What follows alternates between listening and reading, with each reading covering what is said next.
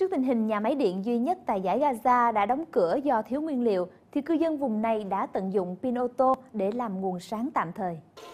Một người đàn ông 45 tuổi tên là Hassan Saad đã thu thập pin ô tô cũ để làm thành nguồn sáng tạm bằng công nghệ LED. Bằng cách bơm thêm axit vào pin, số pin này có thể cung cấp điện để chiếu sáng đủ cho một vùng khoảng 50 căn nhà. Tôi làm cái này miễn phí, nó sẽ cung cấp ánh sáng khoảng 8 tiếng khi mà nguồn điện chính không còn nữa. Và lại cách này cũng rất thân thiện với môi trường, không gây ô nhiễm và đỡ hơn là dùng đèn cây Cư dân trong vùng rất ủng hộ ông Saad. Chúng tôi phải mua đèn cây giá nửa đô la Mỹ một cây. Giờ thì cả khu vực chúng tôi chỉ phải trả tổng cộng 20 đô la Mỹ một tháng để giúp chạy hệ thống pin này. Do cửa khẩu giao thương với Israel và Ai Cập đã bị khóa, nhà máy duy nhất trong giải Gaza đã đóng cửa do thiếu nhiên liệu. Gần 2 triệu người trong khu vực này hoàn toàn không có điện.